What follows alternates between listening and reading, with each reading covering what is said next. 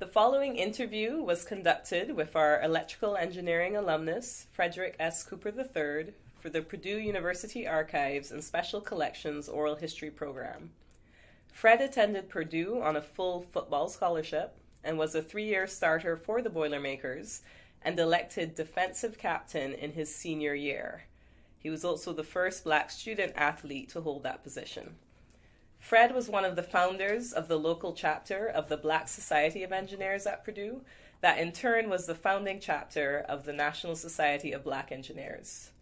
His current role is as a commercial real estate broker for the Berkshire Hathaway Home Services, and he lives in New Jersey. The interview took place on April 19th, 2018, in West Lafayette, Indiana, at Purdue University. The interviewer is Tasha Zephirin. Hi, Fred. How are you Hi. doing? Hi, Tasha. so, to begin, can you please tell me a little bit about yourself? Well, I grew up in the Chicago area. I was actually born in Chicago, grew up in a, a south suburb, attended one of the more well known high schools in the south suburbs, uh, Thornton High School. I have two other sisters. Uh, one of my sisters also attended Purdue. Ever since I could remember, I always wanted to be an electrical engineer. That was even before I knew what an engineer really did. I sort of came to that conclusion just by tinkering around, taking radios apart and putting them back together. You know, while I was growing up, and uh, I also, you know, was also involved in sports. One of my uh, passions growing up, besides tinkering with you know, technical gadgets, was watching Big Ten football. I, I have fond memories growing up watching Big Ten football with, with my father and my grandfather on my mother's side.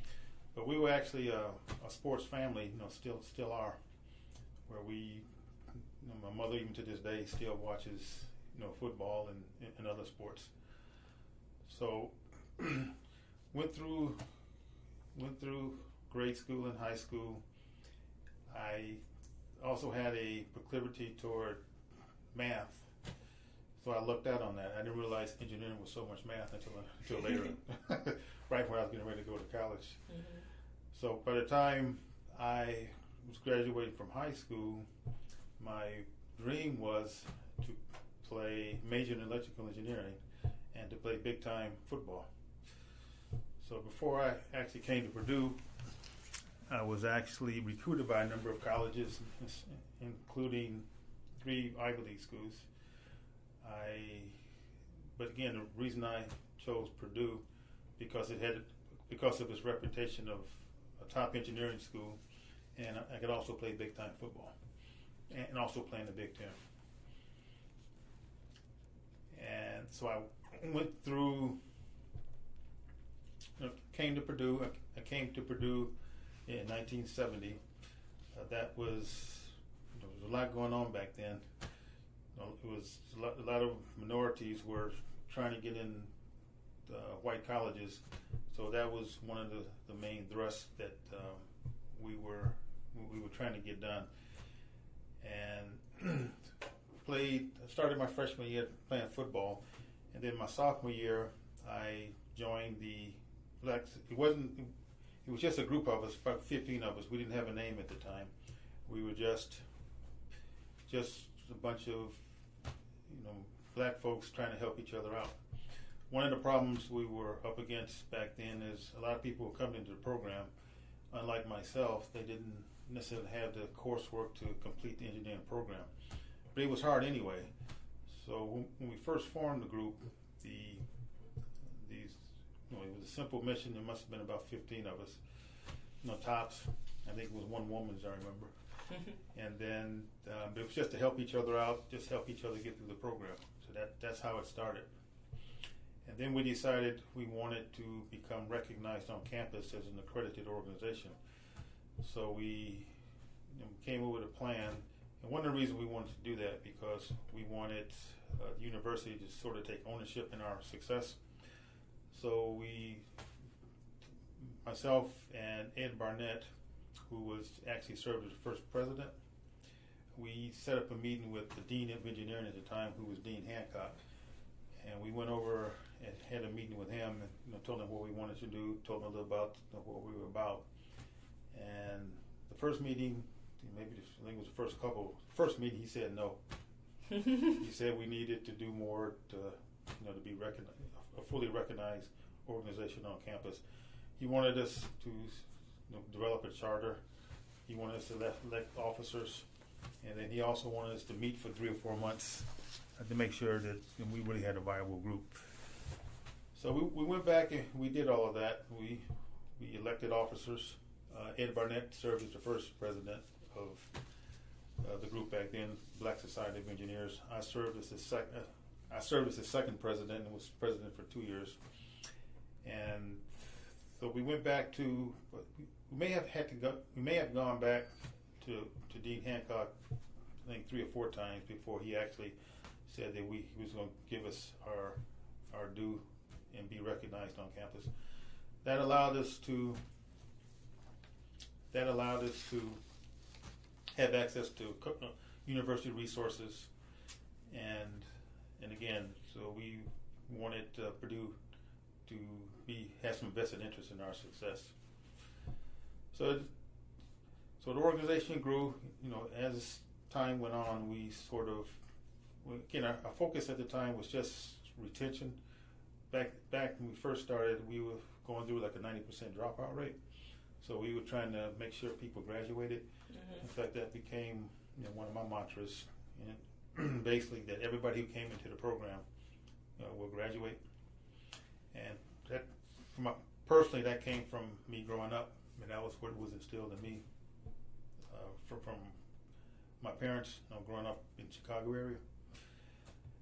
And so th- that was our main focus. We were also trying to recruit more minorities into the engineering program. Mm-hmm. And then as we progressed from sophomore, junior, and senior year, we set up. We first set one of our first things we did in terms of after college. We set up a resume book that we distributed to to the companies that were planning to come on campus during the recruiting seasons, you know, in the fall and, and in the in the spring. So we put synopsis. We put our resumes in a book and a synopsis of our our you know of us individually, and then we sent it to companies before they came on campus, so they'd have a already have a summary of who they were going to interview, Mm-hmm. and that's that's how we progressed. I That's a graduated. big overview. Yeah. that's a really good overview. And actually, Yeah. before we go um, a little bit further, like I'd like there were a lot of interesting things that you were bringing up there. Uh-huh. And so you were talking about, you know, growing up in the south suburbs Uh-huh. and the affinity. So you're in a sports family, affinity for all the, um, like building radios and all that kind of thing. Uh-huh. But how did you specifically, like, I knew you decided to come to Purdue, but what was what was the impetus? Was there anyone else involved in that process, and you actually ending up at Purdue? Uh, actually, that's a good question. You know, when, when I um, left my senior year in high school, actually started my junior year, I started being recruited by a lot of colleges. And again, I always said I wanted to be an engineer. Purdue was a school that I had picked out uh, even before I started being recruited by high school. So back during a full rec- recruiting season, I had narrowed it down to three schools. One was Northwestern, Purdue. Uh, Wisconsin was also in the running. They had a good, they had a, a, a they had a you know, good engineering program, but their athletic department, their secondary, only played three deeps. So that's why I sort of ruled out uh, University of Wisconsin. The only reason I'm, I ruled out Northwestern was because I thought it was too close to home. Mm.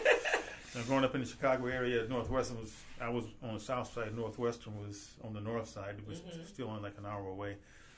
But the thing I did like about Northwestern was the coach. Alex Agase was the coach at Northwestern at the time.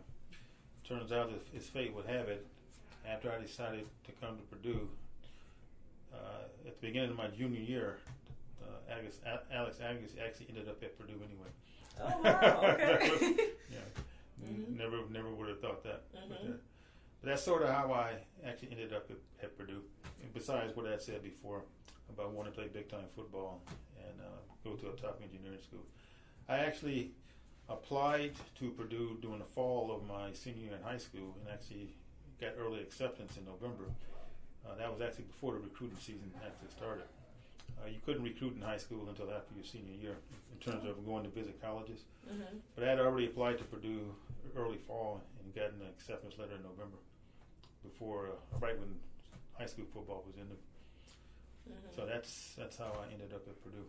And you mentioned there was a big push towards getting underrepresented minorities to attend Purdue. Could you tell me a little more about that? Uh, that- that that was more that was that was in terms of um, that was had to do with again if you, if you think back during that time I was I figure I, I've always reflected I went to college at the perfect time. I, I went, we were going through I went through two different social changes. One was affirmative action uh, with civil rights movement and the other was the anti-war movement. So that was really what was going on. Uh, I was more pushing toward the the civil rights movement, trying to get in, just trying to get accepted into the colleges that we wanted to go to. Back during that time, the civil rights movement was impetus. You know, colleges, all colleges at the time, started setting objectives to try to recruit more minorities into their programs. Mm. That's what I meant in terms of the timing. And then right after that, the women's movement sort of piggybacked right after that. You know, two or three, two or three years later. So it was a per- it was everything was lined up, and you know, and I, mean, I got in. You know, I'm sure because of you know somebody else's efforts. Um, you know, before me, but everything was lined up in terms of it was a perfect time to to start the Black Society of Engineers Mm. because if these colleges was more uh, we we were putting a focus on it, but also colleges were more amenable to it, or the, actually all of society was. Mm. Was college a big um, goal for you know, or an important thing to achieve within your family? Oh yeah, it wasn't. Yeah, it was. Uh, it wasn't if we were going. It's, we were definitely going. It was instilled in us right away. There was no other option. Mm-hmm. I remember uh, a funny story. My, my youngest sister, who who also attended Purdue, she, you know, back when I have another sister who's she she didn't come to Purdue and she didn't major in engineering, but my youngest sister, she kept saying back in high school she wanted to be an airline stewardess. Okay, so my parents said, well, no, you you got to go to college. So she gets, I don't know if I want to go to college. So they finally said to her, okay, well, this is the deal. If you uh, you can go to college for four years, graduate. If you still want to be an airline stewardess, that's okay. But- you were going. Right. But yeah, my family, especially on my father's side, they they were what we call overachievers. So it was never a question of if I was going to college. I may not have ended up at Purdue, uh, as I as was stated before. I came on a full, full football scholarship, but I would have I was going somewhere, either the University of Illinois, or you know maybe could have been in state. But I was definitely Did your parents attend Purdue or No. No. Okay. no. My parents didn't attend Purdue. I had an aunt that attended Purdue. Oh, okay. Uh, Dolores Shockley. Oh, well, it okay. was Dolores Cooper at the time. Oh, Yeah, okay. she uh, got a PhD in pharmacy. Okay, that's the name I was thinking of. Right. It just occurred to me I didn't know which way that went in the Yeah. family tree. Okay. Yeah, that was my father's uh, uh, sister. She actually got a PhD at Purdue. oh, excellent. Okay. hmm And then, so you're now at Purdue, and you're mentioning, I mean, so you're in the middle of civil rights era, and all this Mhm. stuff is going on, and you're a black male on campus. what was the campus environment like at Purdue during that time? Uh, I, uh, yeah, my, it was, I was, I was living the dream. So it was, I, I didn't feel any, any kind of, any kind of, I, I didn't feel uncomfortable. But it's always been pointed out to me that I was in the football program, so that was that maybe that shielded me from a lot. Mm. That, uh, but I was, I mean, again, I was doing what I wanted to do, so I didn't. I have. It was a. I look back, it was a. It was actually a good experience. I do. Uh, I did sort of. You know, through the NASB program, I did. Uh, Black Society of Engineers at the time. I did get more in touch with what other people's challenges were that I didn't necessarily have. Again, I came on a full football scholarship. You know, people just coming in engineering besides getting into the school, you know, financing their degree for four years, you know, was a challenge. Mm-hmm. So they, some other people may may have thought about it differently, but it was, uh, it was a great experience. One thing I had to get used to at Purdue was I thought, you know, living in West Lafayette, it wasn't what I was used to living in Chicago, in terms of things to do. But I came to understand later it was it was a blessing because there were no distractions. Mm. It, was, it was, it was well, a perfect environment. Mm. What were some of the differences between Chicago and West Lafayette? Uh, well, it's a, it's a, big cultural difference. Not necessarily it's cultural difference in terms of Indiana and in Chicago area.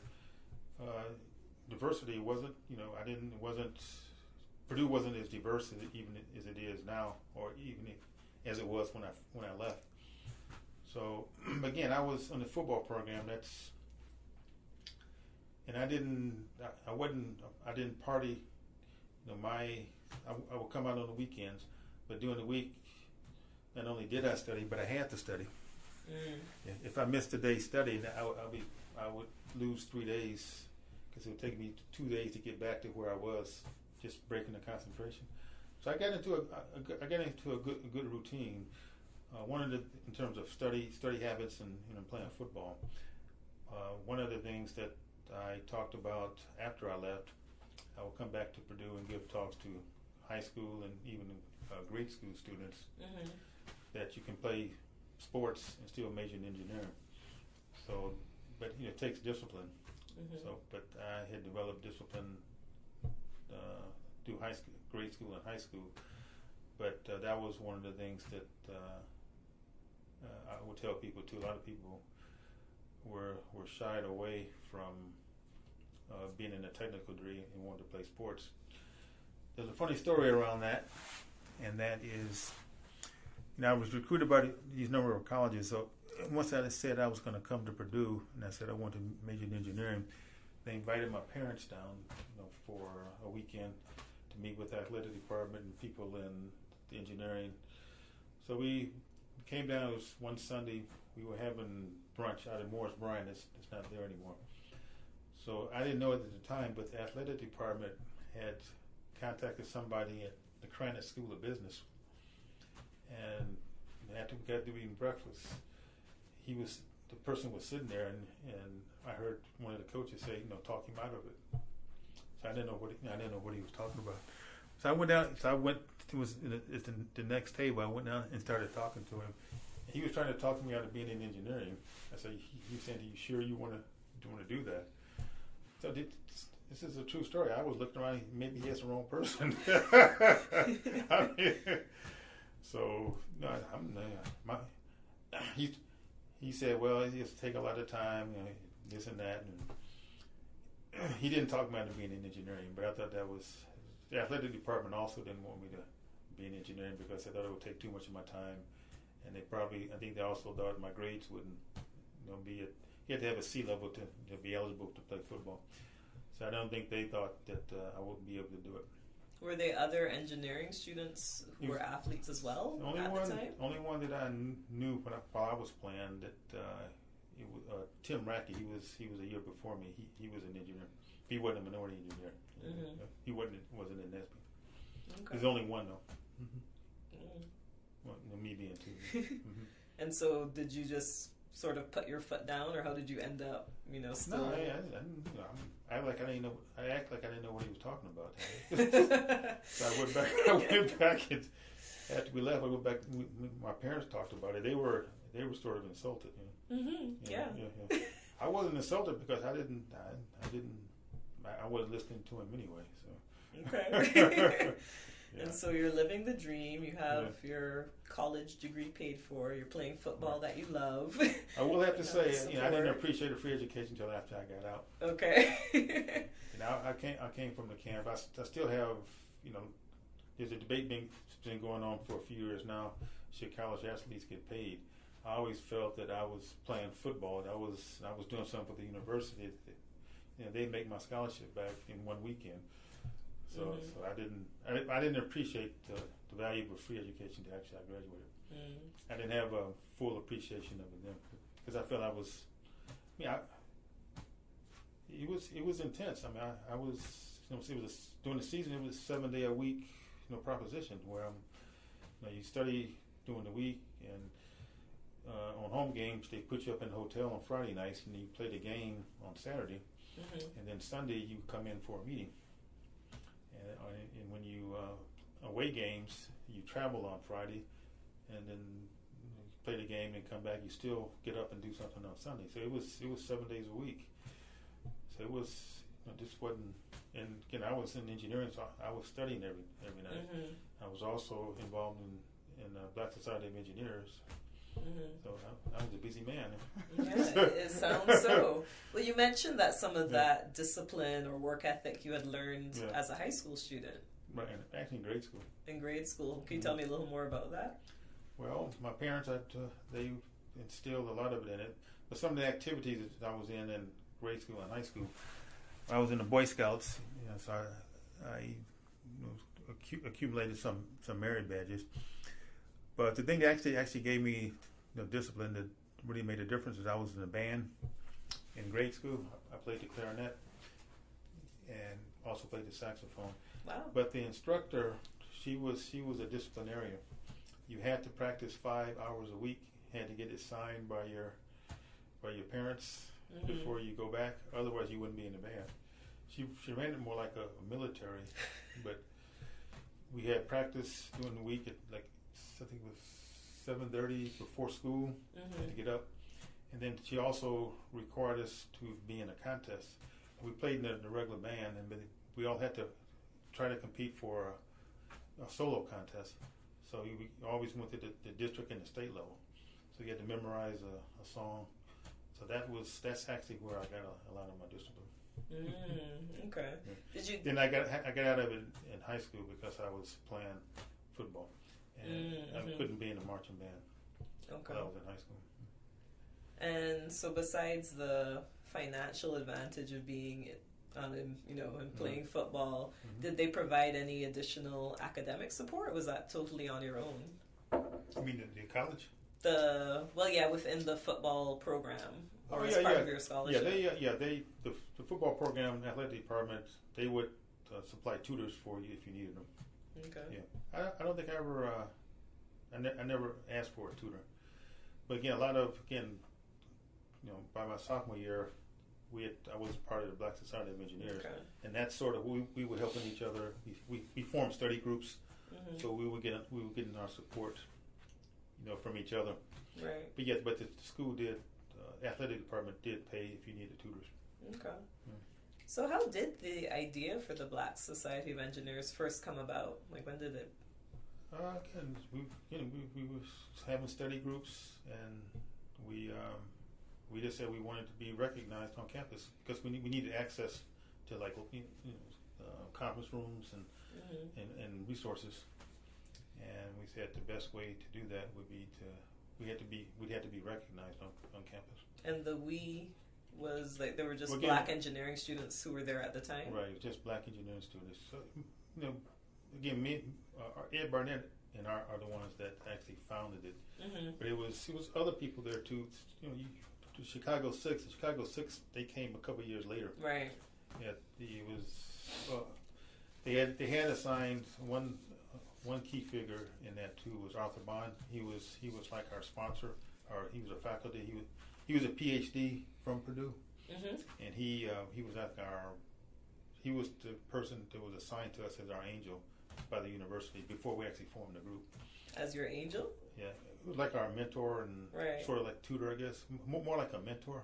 Okay. See, part part of um, one of the things Northwestern had too in Purdue, a lot of the um, when minority even black athletes came to any uh, most predominantly white school. One of the things that a lot of somebody they set up um, they set up uh, like a you know, I guess like an angel, like a counselor, somebody where you know minority students could uh, go, could go Okay. mainly just to just to make the transition from high school to college Mhm. and make the transition from a, a to, to a mostly white college. So we Mhm. had the, similar as you know like the Black House, that was so where we could congregate. A lot of a lot of the a lot of the uh, schools, a lot of the mostly white schools set up had uh, people who were playing that role. Mm-hmm. Um, it just turned out Arthur Bond was just he, he, he played that role for engineers for you know, they, we had the Black House when I first came. That was for the minorities at large at Purdue, somewhere somewhere to go. Okay. It's a social outlet and to you know and to you know talk about the issues they were having and what, what kind of problems they were having. And but Arthur Pate he he played and he was our sort of an ad- advocate at the in the School of Engineering uh, level. hmm Okay. You know, you know, it, it, going through Purdue Engineering, it wasn't if you were having problems with something. Just you know, what was it? okay. What kind of problems were there? Well, the biggest problem was the biggest problem was, in hindsight, was you know, people were having problems with their classes, their roommate, their professor, their you know, had a bad game. You know. So one of the things that we, another thing we we um, tried to focus on was it's okay to ask for help. Mm-hmm. You know, a lot of you know a lot of when we first started, a lot of I suspect a lot of people didn't make it through the program because they were afraid to ask for help. Mm. So that was the other thing. We, we sort of created an atmosphere. It's okay to write. It's okay to ask for help, and we know you're having problems with something. So just tell us what it is, so we can help. So we can help each other. So that was a that was a big that was a big initiative too. Mm-hmm. And uh, you know, Arthur Bond again. He would- he would come to our meetings, and so we all we all you know developed. We, we all developed you know different you know, leadership styles.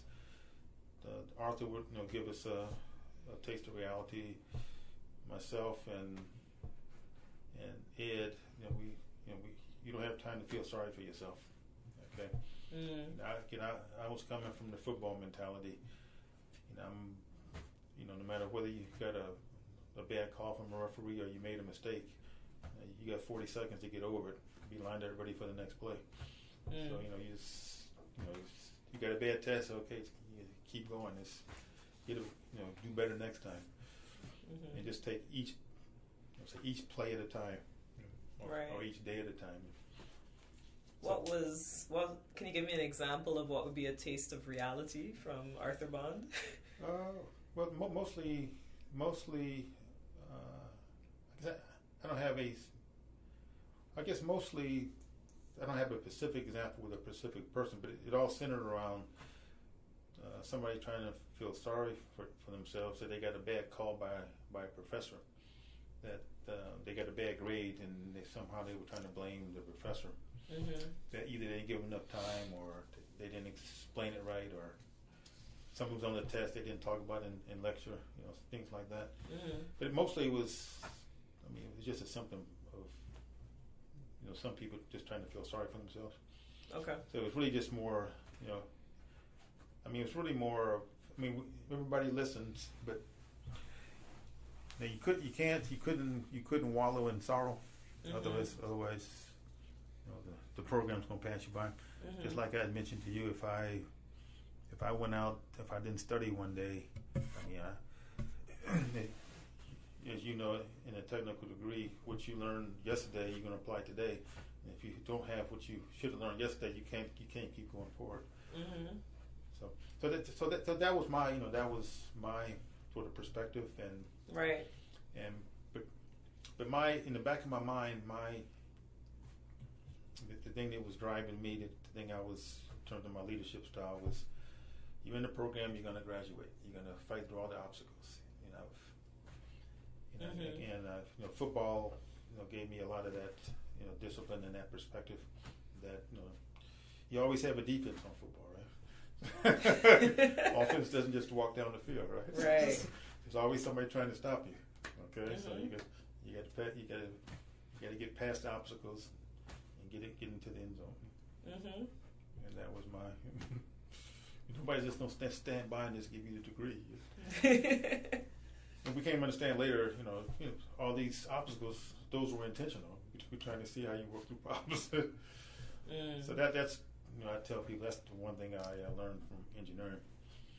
I learned a lot of life lessons from football too, but the thing I learned from engineering it teaches you how to solve problems.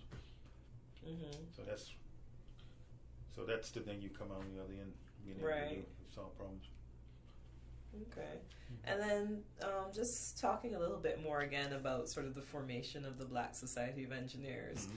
And so, why did you feel that there was a need to have this specific group, Mhm. like a formal group? hmm Um, I think uh, besides trying to give the university accountability, it also gave us accountability Mm. in terms of okay, now we have this group.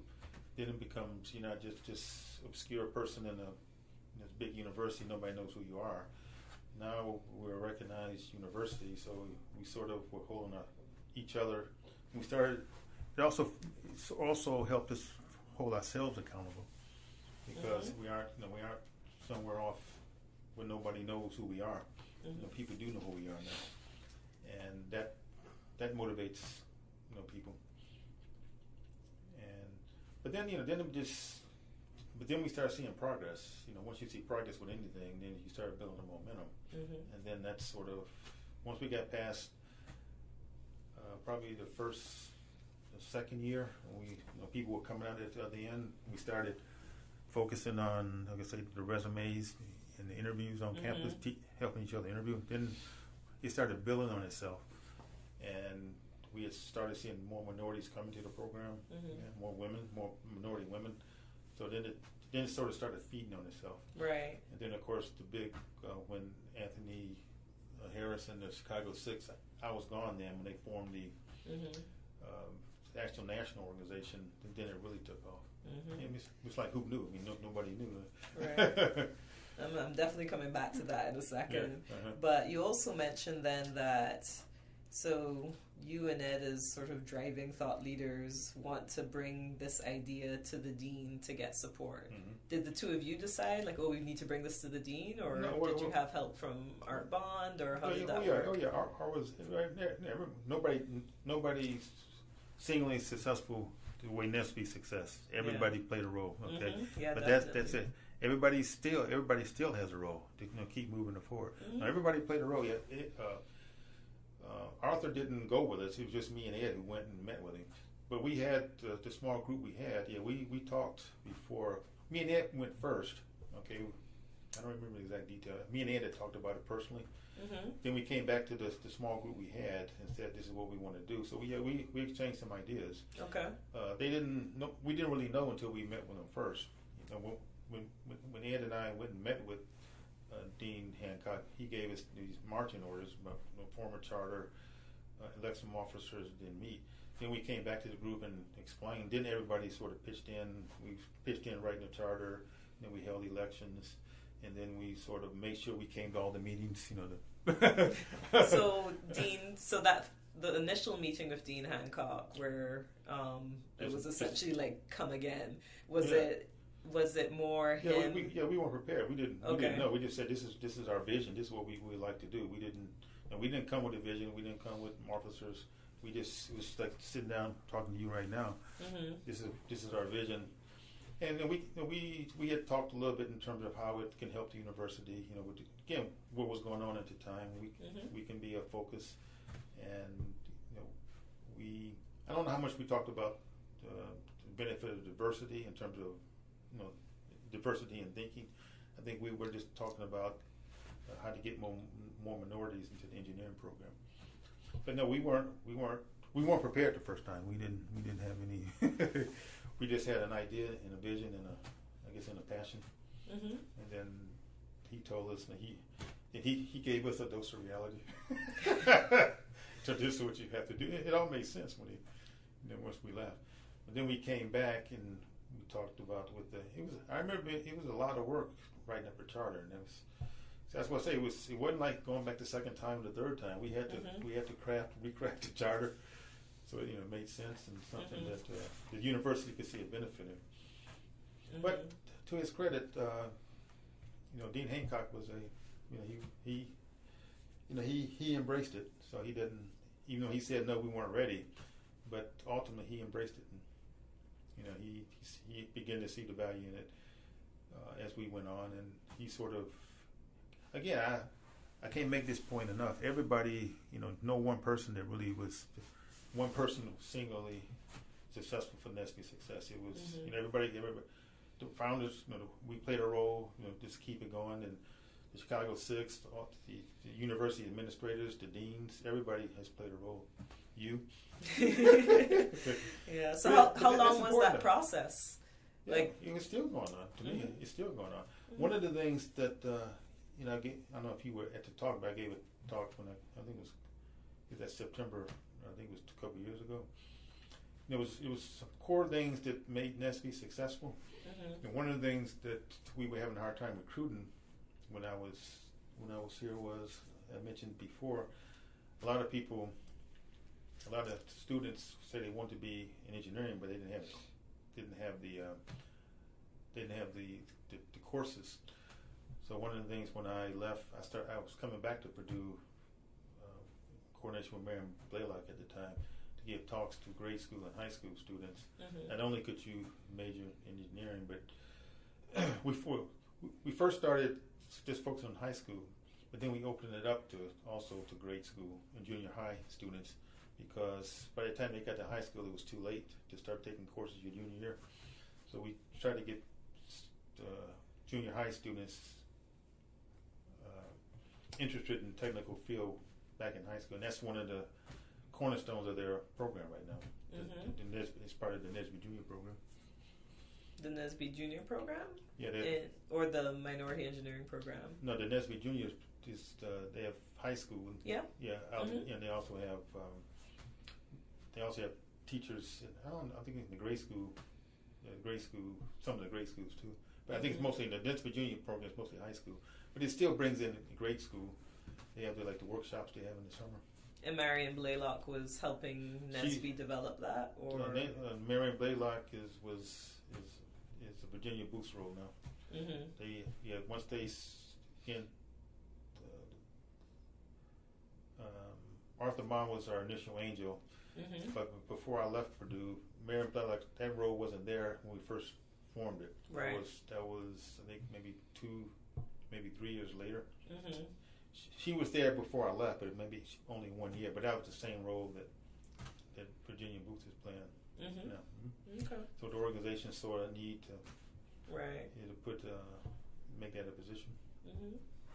And so, like, so thinking back to now, you have approval from Dean Hancock, you have your charter, your constitution, Mhm. you have your faculty advisor, and Art Bond was the faculty advisor, right? Right, correct. But he was a PhD candidate at the time. I think he he may. I don't know if he was a candidate. I thought he already had his PhD. He, Okay. He, he may have been a candidate. Yeah. Mm-hmm. Okay. I know he was a. He wasn't a full professor at the time. Mm-hmm. Okay. That's one of the reasons he left. But then, so you had your, you ended up with your first meeting, Mhm. and according to some records, the first meeting was Octo- October 11th, 1971. right. Right. So could you tell me a little bit about that first meeting? Oh, like, okay. bring me to the meeting. Can I see it? Okay, I know. Actually, I don't know the details of the meeting, but well, we we were we were. I mean, again, we were. Uh, you mean the the first meet? That was the first meeting of your Black Society of Right, Engineers. Well, we were. the thing I remember about going through the meetings is, is you know, who am I going to fit this in? So a lot of people were, you know, you know, if it was October 11th, I just come from football practice. okay, Mhm. okay, and so that that was, you know, that was that was a challenge. You know, the first meeting was we were trying to we were trying to get focused in terms of everybody was having problems with something, but people were having different problems. Mhm. So we we were sort of coming back to me then. I remember we we sort of uh, talked about different issues people were having, and Okay. then we we sort of set up um, you know where people could set up times to study together. Not there at the meeting, but we would talk about. Uh, you know, okay, next, you know, next Thursday, why don't you and so and so meet and go over math? Why don't you and once somebody else meet and go over physics? You know, whoever, depending on where you were in in uh, in the program and what you were specifically having problems with. Most of the time back then, it was physics. It was that was the freshman physics. It still is. yeah, that was that was the front out for. Mhm. people, a lot of people, if you got to see this, you know, forget about this. Don't even worry about this. Keep going. Mhm, mhm. So that I remember, yeah, I, I remember physics was a was a big issue, but but it was mostly, you know, we were still, you know, we were still really trying to organize ourselves, and it was really more of a you know support group. You know, that's why, that's really what that's really how NSBE started. It was really just a support. And then we had, yeah, we had some forward, we had some forward thinking going on. You know, we were Mhm. we were pushing, but again, remember we were we were just trying to keep people in the program. Right. That was our number one goal, 'cause- Mhm. and we were we were just trying to get people to, you know, out the other end. Right. So that was a lot of our, our initial focus. And at the same time, you know, keep pushing. Like like for example, when we started the resume, we said, okay, I'm a senior this year now. What? so at one of the meetings, okay, let's why don't we just came with an idea. Let's Right. form a resume book. We can send it to the companies that are scheduled to come to uh, to recruit during the recruiting season. Mhm. It, it was mostly, again, we, we had some, we had some forward thinking going on, but you know, but you know, we were still, you know, we were still,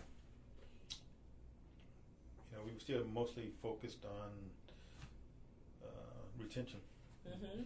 and we was trying to, we sort of, we were sort of nibbling at, at recruiting. We were like when the minority came on campus, one of us, somebody would talk to them, and we would.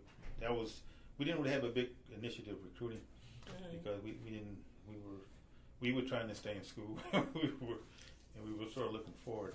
But that's it sort of we started saying what we what could we do in terms of getting more minorities in there? Right. and most of a lot of it that had to do with being a role model.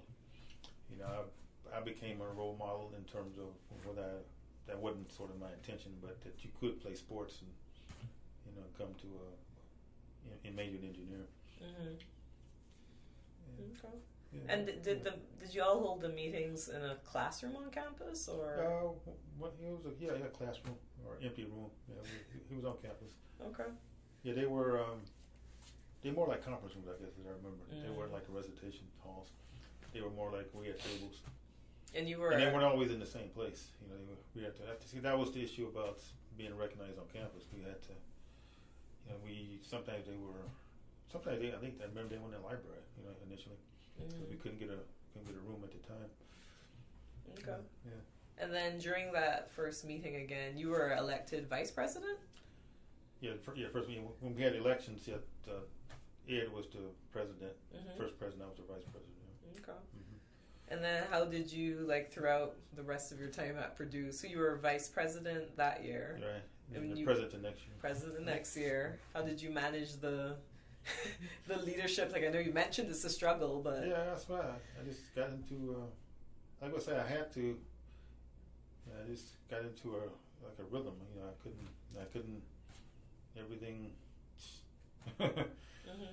and um, well, football took a lot of time during during the season. Mhm. So we, we had a time block. So you know, we had all our classes had to be over three thirty, and we practiced from four to six. And we had training table at six thirty. So by the time I was ready to do anything, it was seven seven thirty. Mm. That's when my, you know the night started. the next shift of work. right.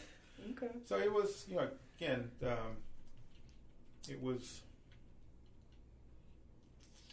so you know, doing that those early leadership when I was doing that I was again mostly you know the you know you know my my sort of message to the group was you know you can do it you know you, Mhm. you, you know, we were still doing you know setting up study groups I, I really didn't have a chance to make a lot of the study groups because I was planning or studying, you know, playing, studying individually, which didn't it didn't coincide with the times the study groups were. But mostly it was, as I remember, just you know, we listened to what the issue, what problems people were having, and you can do it, you know. And I got the reputation. They said, "Aren't you having problems?" I, I just never, com- I never complained about it. I mean, I, I'm not that. I'm, I don't complain in now. I mean, Mhm. it's just this is life. This is what you know. Mhm. you know. So that was. I think. Again, I came to understand more. I was more leading by example than I was Mm. anything I was specifically telling them. Right. I was, you know, I was telling them. You, I wouldn't put it the same way I put it to you. You got 40 seconds to get over it, but that was, that was, that was, you know, we were listening, but okay, but okay, but now what you now now what are you going to do? Mm-hmm. Yeah. Okay. But yeah, we we'd all we'd all you know you know you know when I was the vice president when we all you know the leadership all developed this thing you know, you know this is reality. Come on, you can't complain. You know if I got a bad you got a bad call, you got to we say okay go talk to your professor. You know you know you don't think you you were treated misfairly, but get you know but also you know keep in mind um, you had this keep this all in context back then. Again, you in, you have a lot of minorities in a mostly white college, so it wasn't just academics either. It was being, you know, this assimilating or getting acclimated to college life. Mm-hmm. Right? So all that was going on too. Or you know, a lot of people didn't like their roommates. You know, okay, we we, we know now you got you got to be able to get along with people, right? Mm-hmm. so, so all that was going, everything was going on. So, mm-hmm. so it was, you know, it became a um, in some case, I'm, I'm saying like a refuge, but it was, you know, you, you in a room with somebody, you, you feel you have in common, yet in common, where you, you wouldn't admit that you were having a problem in the classroom with everybody else, but you would admit to it uh, among us. And we, Mhm. we, we, we, we, it's like any kind of organization, close organization, and it was small, so it was, we, de- we developed, uh, you know, trust for each other. Mm-hmm. So all that, all that, all that was going on. So beyond like roommate issues, were there other social challenges that members were facing?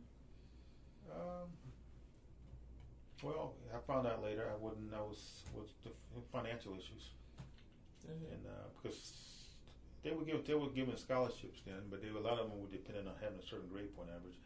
Even though it may not have been a academic scholarship, but still dependent on had some kind of great GPA component. Mm-hmm. Um, you know, girlfriend issues. I mean, everything. is just Mm-hmm. uh, meeting. You know, having time to having time to you know, have a social life. You know, I had roommates who could go out and party every night. I mean, that didn't really affect me. I know I know it affected some people. Even like on the weekend, you know, engineers, you, you you couldn't be out partying all the time. So a lot of just we see people on campus when they were out, you know, going to parties. But when we, so that was part of it too, just trying to have a social life. I mean, that was some of the issues that some of the other uh, students had, some of the other engineers had. Mm-hmm. And was it general social issues just because of academic discipline, or was it even some of? Because from what I can imagine, there might be some race issues going on with who hangs out with who in a social environment. Was there any of that happening? Um, I think I think I didn't feel that. Mhm. Again, you have, you have to, I'm I'm acknowledging this. I was in the football culture, and it's football culture is different anyway. I mean, it, it, it, with some of that going on uh, at Purdue, again, I was we we heard a little bit about it, but it wasn't a big problem. I can't can't say it was a big problem at Purdue, but I'm sure I'm sure some other students that weren't involved in the football program uh, may have felt that. What was the football culture like?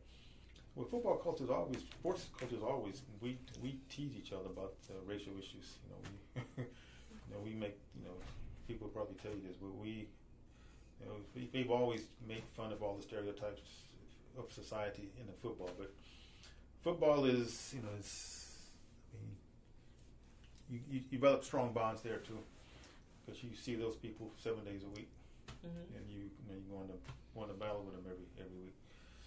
So you don't have any choice but to trust somebody next to you on the football field or any kind of sports endeavor.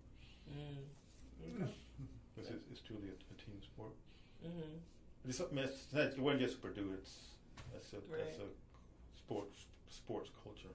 Mm-hmm. Mhm. Right. Mhm. Okay. And then, like from your perspective that you could see, because I know you're busy a lot, but how did like other students, faculty, or staff on campus sort of respond to the Black Society of Engineers, like as it's now existing? Oh, oh well, it uh, uh, it, it we, we got a positive response. Okay. Yeah, we got a positive response. It wasn't uh, a lot of people.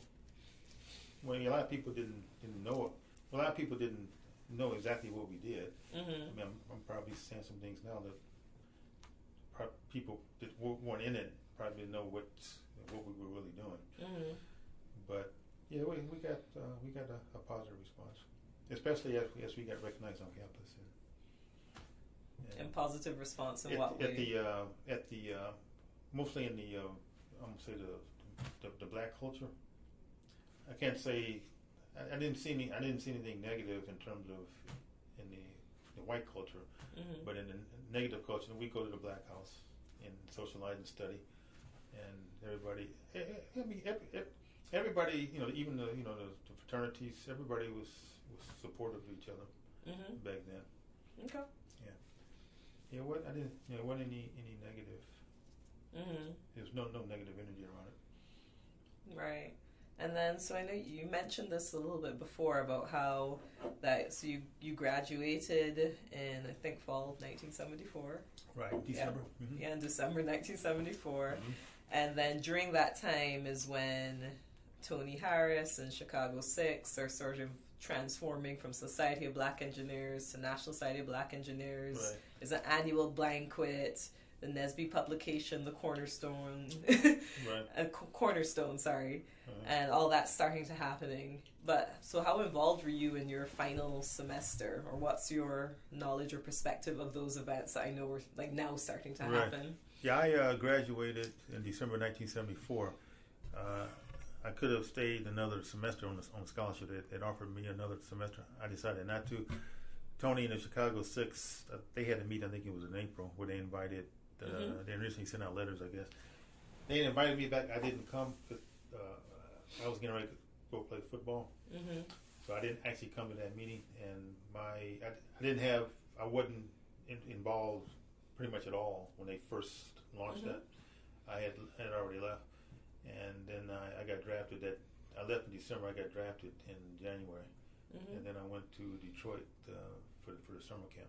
So I wasn't really part of the initial launch of the uh, the national Mm-hmm. society. What did you think about it? Oh no, I, I thought it was great. I, I still never knew that it was where it was going to end up. Mm-hmm. Oh no, I, I thought it was, I thought it was great. I thought, and, and they used the model that we started, you know, other other universities. Mm-hmm. No, I thought, like like I said, everybody you know played a role. I thought that that was a, a great, you know, they, they deserved tremendous credit for it. it was, yeah, that it uh, it took off. And it was- your sister Michelle Cooper served as a NSBE leader as Right. well. Yeah, she came. She came to Purdue in 1977. So she she was actually more involved in the national launch. Her Mhm. in Virginia. You know, I heard stories. You know, I didn't know what, how much work they were putting into it, traveling around the different colleges. You know, selling the the model to different colleges when they after that initial meeting. Mm-hmm. Yeah, she she was very much involved in that. She was the was it the national secretary uh, secretary I guess right. Who? Uh, M- M- Michelle. Either- Michelle? Yeah.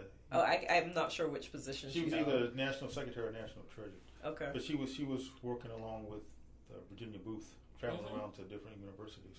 Okay. Yeah, you know, it was it was trying to implement the vision around the country. Mm-hmm. And did she get involved in NSBE, or how did she get involved in NSBE? Do you know?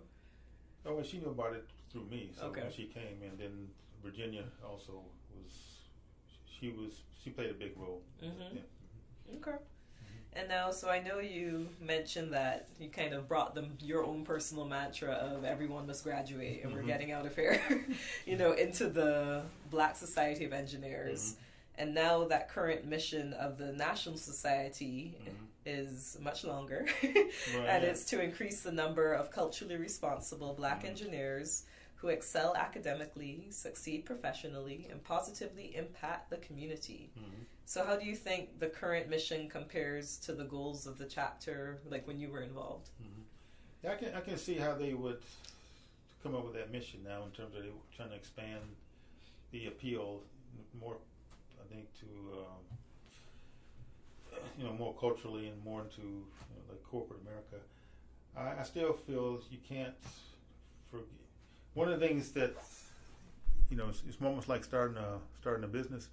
You know, if you grow too fast, you sort of forget you know, what made you successful. What if you get your roots and you sort of get diluted. Mm-hmm. So one of the things that, um, so again, I, I'm I have no issue with the with the mantra. Again, but what their new mission statement is. But again, when I came back a few years ago, I, my message to the NSBE people at large, and that was the students, the administrators, to uh, to leadership, Mm-hmm. was don't forget what made NSBE successful in the first place, and that is a support group for each other to make sure that everybody who gets into the program graduates. If you know, if you if they start trying to form too many groups that don't don't, don't have the roots to support network, Mm-hmm. then uh, I think you would dilute the effectiveness of it. And when I say the roots, I mean going down grade school and high school, make sure people have the right foundation, so that when they get into the program, they can they can graduate. You know, if we only had a few officers, few positions you know, when we first started. As you start, there are a whole lot more roles now in NSBE. Mm-hmm. And if you start taking, I know how much time it took me. Okay, you know, everybody wants to contribute, uh, uh, and everybody does play a role. But my parents used to always tell me, "Don't forget while I'm while I'm down here." So if you know you, you can be the president or you can be whatever role you're going to play, but if going to play, but if it, if you can if you do all that and you don't graduate, then, you haven't accomplished Mm-hmm. what the real goal is. Right. Mm-hmm. Okay, so that's that's that's why you know, again I again that I think that's a it's, it's a good uh, mission statement to you know broaden the, the appeal to a larger audience. You still have to have I think the the foundation, Mm-hmm. and it starts with the whole point is you know you're trying to graduate. That's, Right. that's, that's, Mm-hmm. if you don't That's graduate, if you don't graduate, then We haven't increased the number. right. And they got new they got new challenges now. I mean, for Mhm. example, the biggest challenge that I didn't have, not only because I was on the football scholarship, but also because the cost of education has gotten so so high. Mhm. So a lot of people can start. This this is probably a good example, a specific example. A lot of people can st- start the program and they're they study every night. They up in their studies, but then run out of money because the cost of education has gotten so high.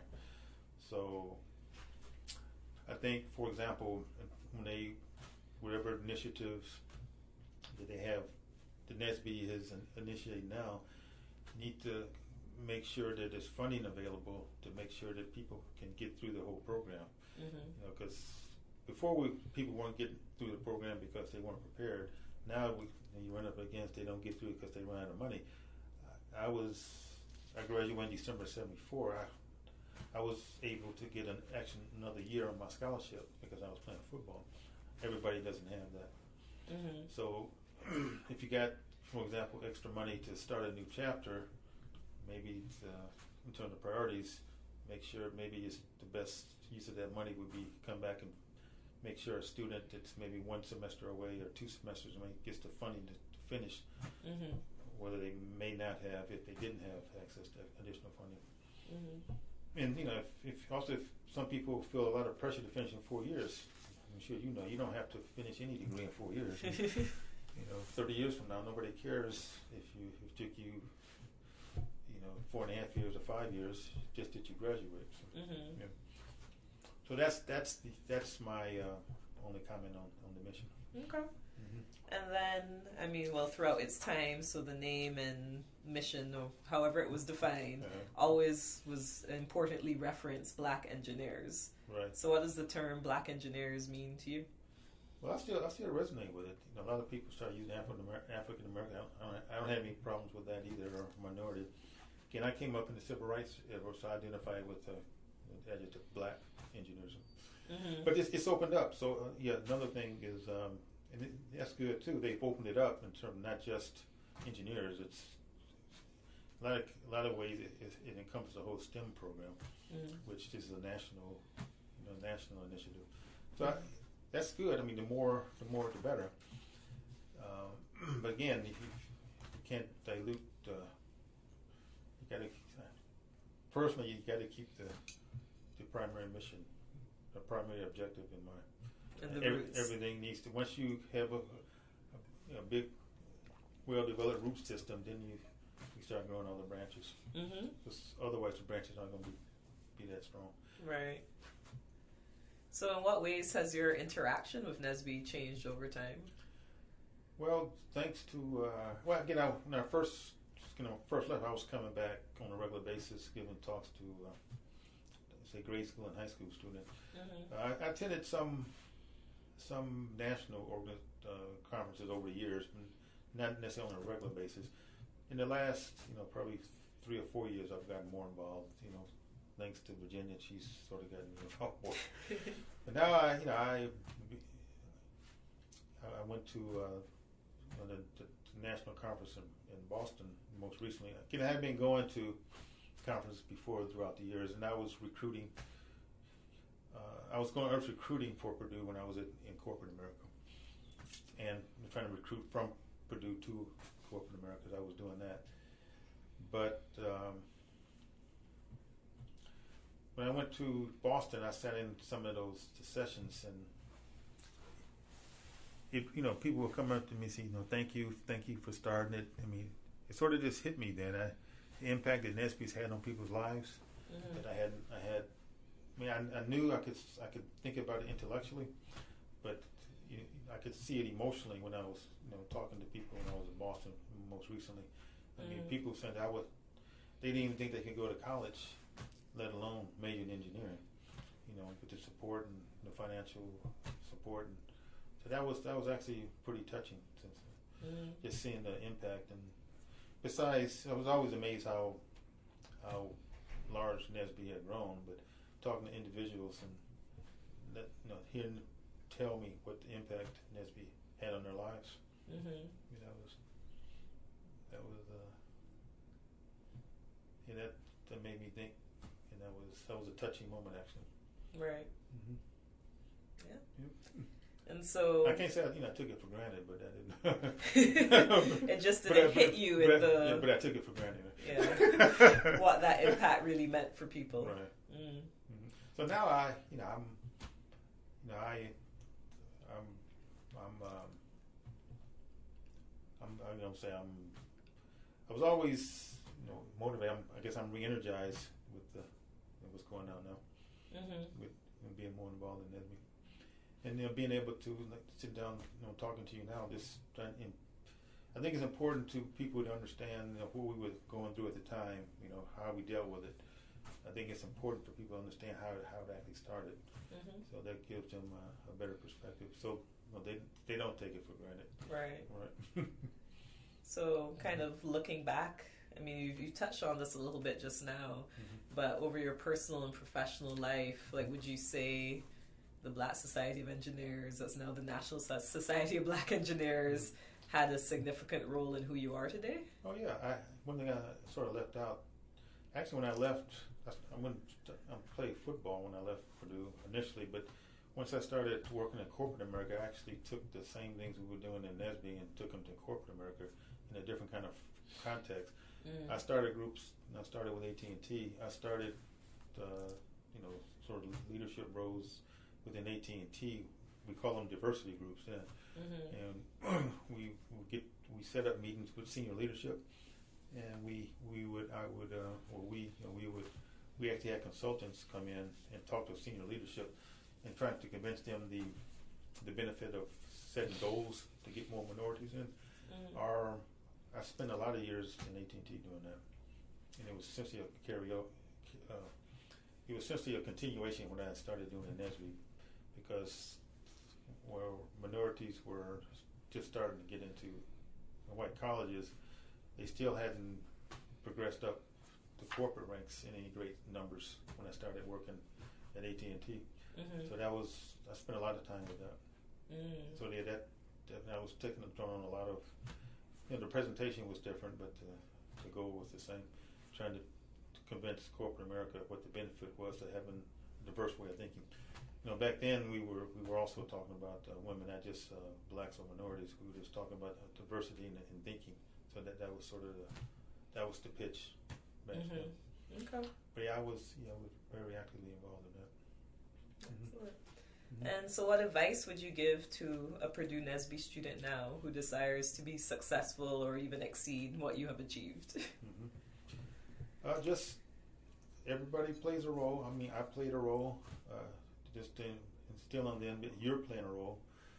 Uh, you're playing a role in NSBE in terms of you may not think it.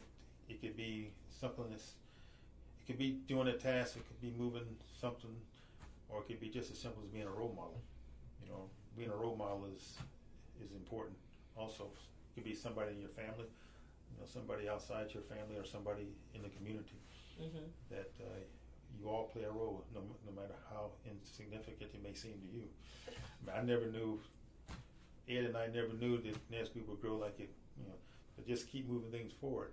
It's, and you never know what's, where it's going to end up. Mm-hmm. It's- And how do you think Purdue can continue to contribute to student success across the board, and then particularly with Black engineering students? Well, actually, I got to say, I mean, I'm actually proud of Purdue.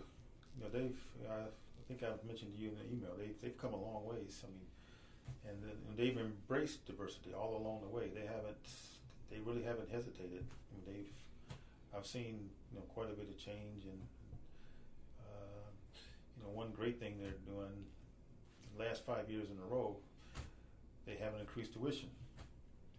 That goes Mhm. a long way. Mhm. something, you know, something like that. Based on what we were talking about before, so I think I think that's great. I think the the support that they are seeing.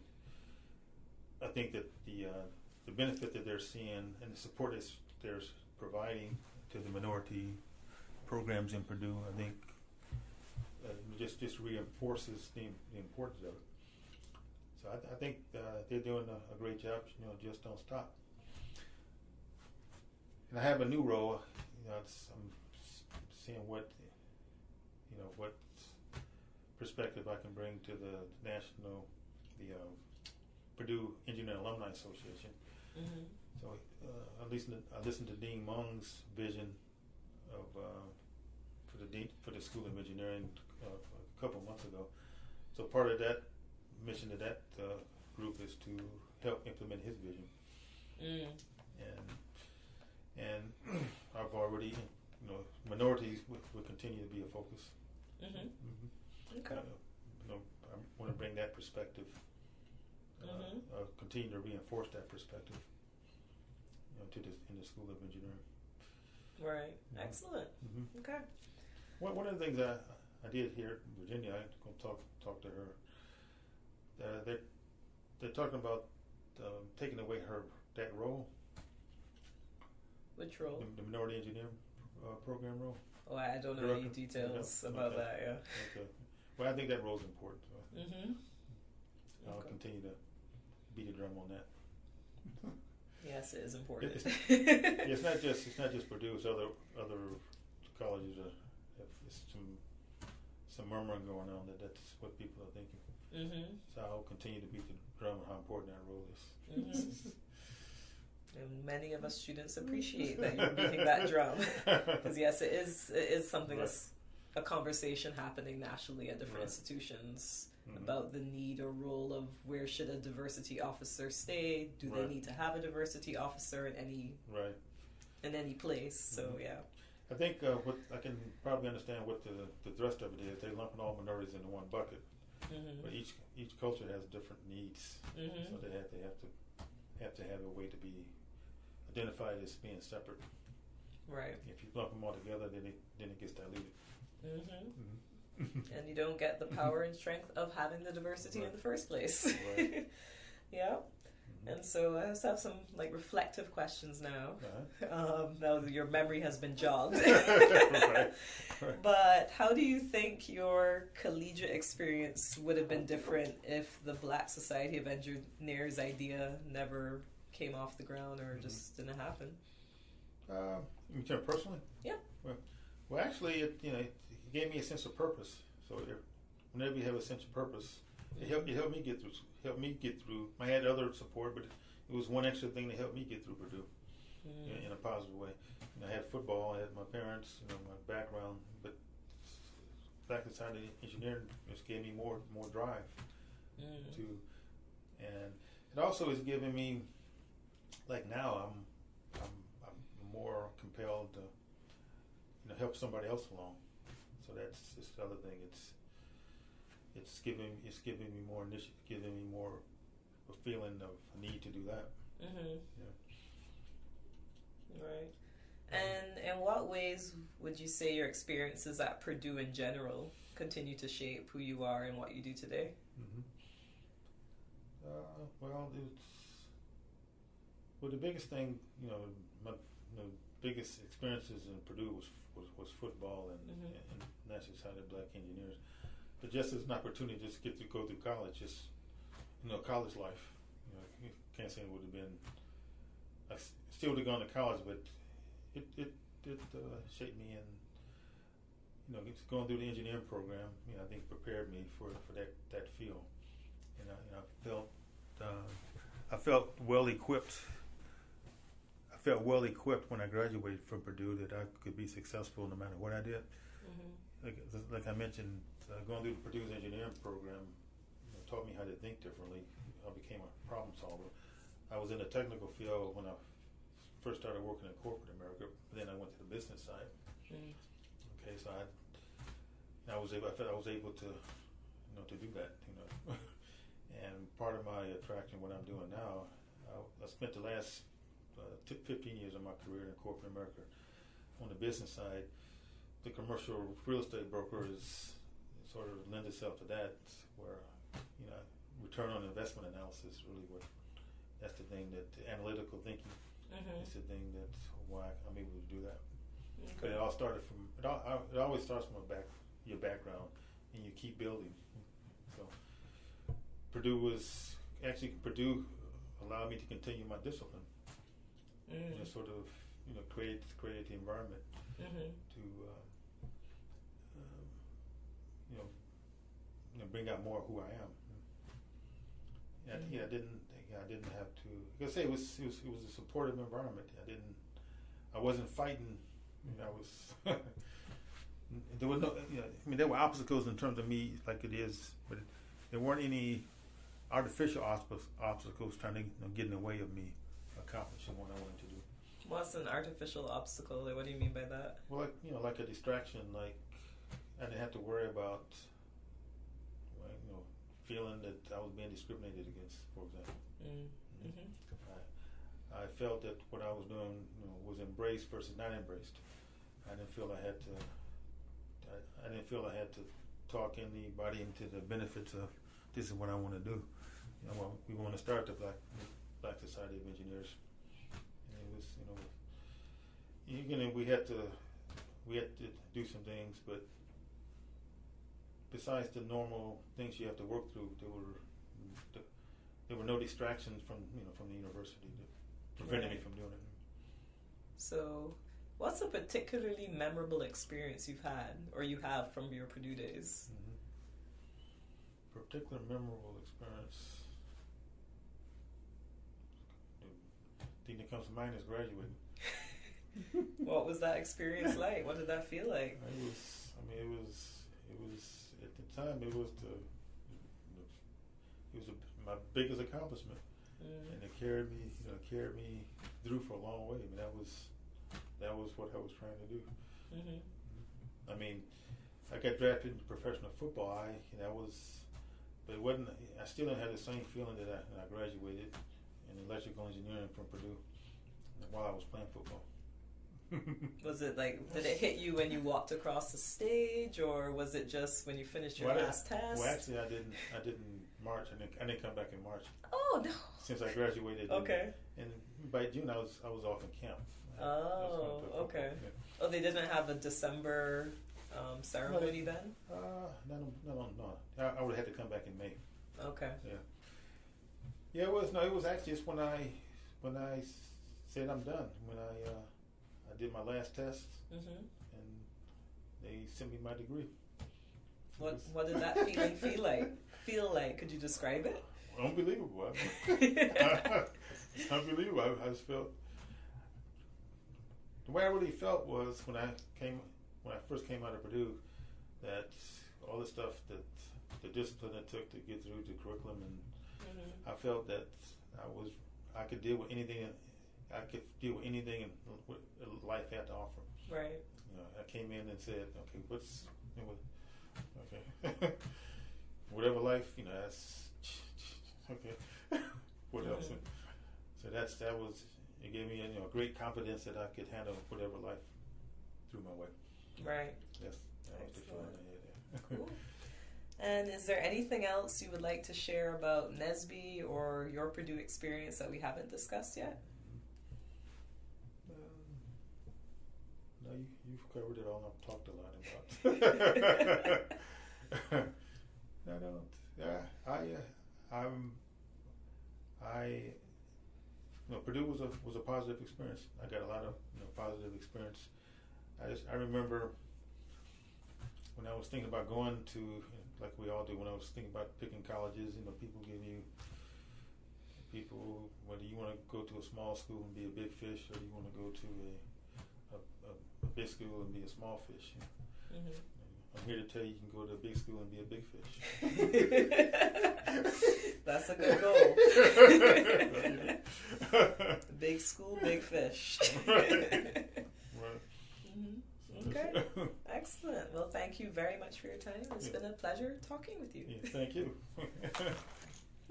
yeah, back when uh, I first came to Purdue, you know, black people were just trying to assimilate into white colleges or to get uh, access to the right kind of jobs.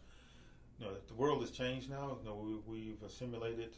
Now, black people have a, a different objective. Now they're you know, they, they own their own businesses, and you know, so the um, so the uh, teaching uh, besides what the original you know, goal was to make sure you graduate, but in terms of expanding the scope of NSBE, uh, uh, promoting entrepreneurship type of training, that's something that uh, we didn't actually do when we were uh, when we were coming through.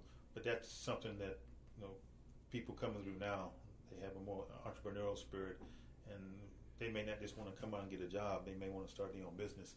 So that's one of the things that I think NSBE could uh, focus on in the future. Mhm.